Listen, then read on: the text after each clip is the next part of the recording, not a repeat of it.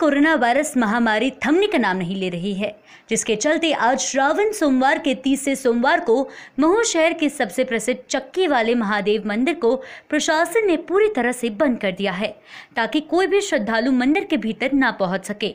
महू में corona virus महामारी का प्रकोप बढ़ता ही जा रहा है, जिसकी रोकथाम के लिए शासन प्रशासन लगातार कड़ाई से पालन करवा रहे हैं। इधर श्रावण सोमवार के तीसरे सोमवार को महू शहर के सबसे प्रसिद्ध मंदिर चक्की वाले महादेव में भी श्रद्धालुओं का प्रवेश निषेध कर दिया गया है। मंदिर के गेट पर ताला लगा दिया गया है और प्रशासनिक बल भी मंदिर के बाहर मौजूद है ताकि कोई भी श्रद्धालु मंदिर के भीतर ना जा सके। वही श्रद्धालु बाहर से ही, वही श्रद्धालु बाहर से ही भगवान के दर्शन कर लौट रहे हैं। वहीं मंदिर के भीतर सिर्फ़ पुजारी ही मौजूद है जो भगवान की पूजा अर्चना कर रहे हैं। वहीं पास में शिरडी वाले साई बाबा का मंदिर भी बंद कर दिया गया है।